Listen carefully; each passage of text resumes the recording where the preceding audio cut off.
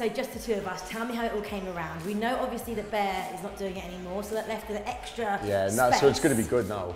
No man, no man, it was already good. But I think obviously like her, Charlotte and Bear, like they, they were together. But I mean, I mean, it's like I've seen it all before with Charlotte. Like I think she spends enough time with, with someone, then like it, it becomes like too much. And I think like doing that show with him and being with them every day, I just think they just grew grew apart a bit. And obviously there's a lot of stuff happened.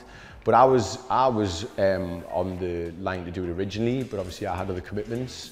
And but then obviously as soon as Bear, Bear and Charlotte were like Charlotte come work with Bear, obviously I was her first choice because me and Charlotte are like best mates. Did you watch the show? Yeah, I watched it a couple of times. What do you think? It was all right. I just watched her and Bear kicking off though. You know what I mean? So now like the show is just it's got a bit of like the Geordie humour back in it. You know what I mean? It's not just like fighting in their relationship. It's like me on telly. You know what I mean? So it's like it's a laugh. Like obviously there's loads of people coming in getting the most ridiculous tattoos that you've ever seen, and obviously I'm just like having a life. The staff in the school at home going,